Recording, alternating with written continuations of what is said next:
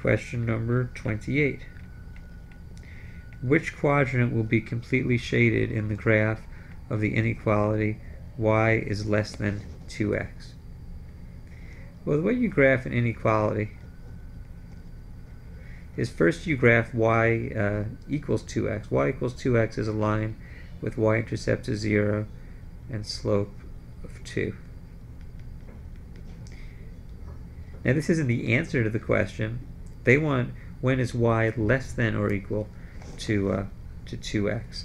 Uh, an example of a number that would make this true um, would be, let's say x was, uh, was 5 and y was 1. That, that's an example of a pair of numbers that would satisfy this inequality because 1 is less than or equal to 2 times 5. Well, 5 ones over here somewhere. So what we do is we're going to shade, if we can locate one point that satisfies it, we can shade the entire side of the line that contains that point. And um, this is quadrant 1. Uh, which quadrant will be completely shaded? Quadrant 1 is not completely shaded. Quadrant 2 is not shaded at all. Quadrant 3 is partially shaded, but it is quadrant 4 that is completely shaded. Question number 29. A figure is made up of a rectangle and a semicircle as shown in the diagram below. What's the area to the nearest tenth of a square centimeter? Well, this is a there's a rectangle and there's a semicircle. Well, the area of the rectangle, length times width, is 5 times 6, which is 30. The semicircle is pi r squared over 2 because it's half of the circle. Um, the uh, the radius is 3 because this side is 6. That makes the diameter of the circle 6. So it's uh, pi times 3 squared, which is 9 over 2. Well, when you add 30 plus 9 pi over 2, and you can use your calculator for that, you'll get you get 44.1. Uh, approximate pi as 3.14. Question 30. The, val the value y of a $15,000 investment over X years is represented by the equation. Uh, yeah, this looks a little better. 15,000 over X years represented by the equation 15,000 times 1.2 to the X over 3. What is the profit on a um, six-year investment? Uh, well, there's uh, two steps to this question. First, by substituting 1.2, change this x into 6, 6 over 3. That turns into 15,000 times 1.2 to the second power. Um, you should do 1.2 to the second power first. Uh, you get uh, 1.44, so 15,000 times 1.44. Now after you calculate this out, we're going to subtract away the initial 15,000, but let's see first. So this equals 21,600.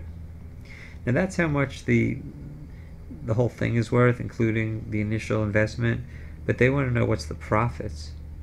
So the answer is actually not 21,600 because we have to subtract away the 15,000 to get 6,600.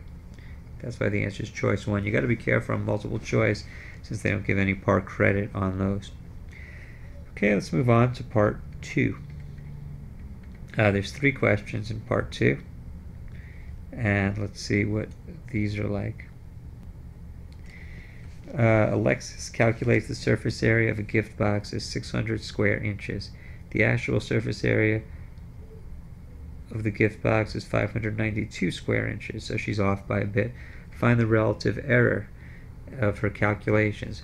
Well, when you're off by 8, which she is in this case, that's not so bad if the thing is, is really big, but let's say you're estimating something very small, uh, something that's only like got like five things and you estimate it and you think it has 13 things, that would be a big, big error uh, relative to the to the size of the initial thing.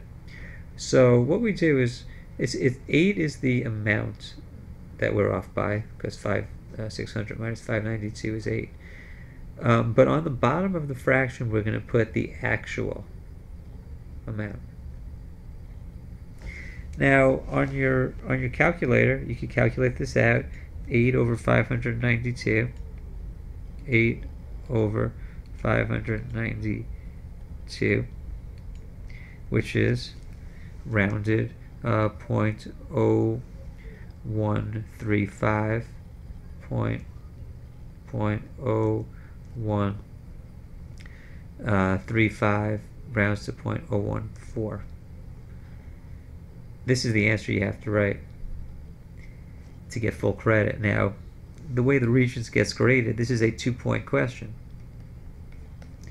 If you were off on your rounding, you would lose one point because they have to take something off, and you can't lose part, partial or credit, half of a point or anything. So be very careful on these. If they say round to the nearest thousandth, you need to do that. Otherwise, you're going to lose half credit on this question, even if you understood all the other stuff. Another error you could have made was dividing 8 by 600. You want to divide by the actual, uh, what the actual answer was. Okay, moving on to 32. Uh, perform the indicated operation negative 6 times a minus 7. Well, the distributive property is when you multiply the thing outside the parentheses by each of the terms on the inside. So you get minus 6a, here's the tricky part, plus 42, because the negative 6 gets distributed through, and the property used was the distributive property.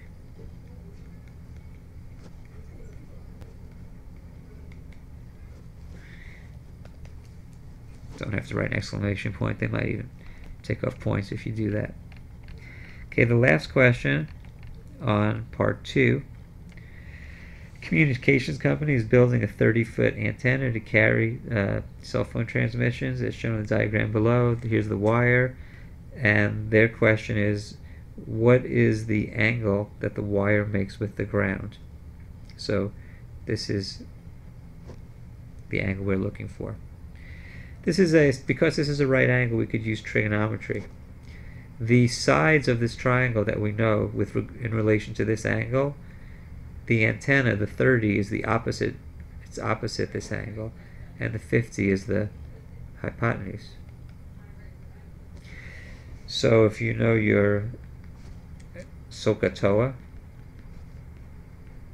it says that the sine of your angle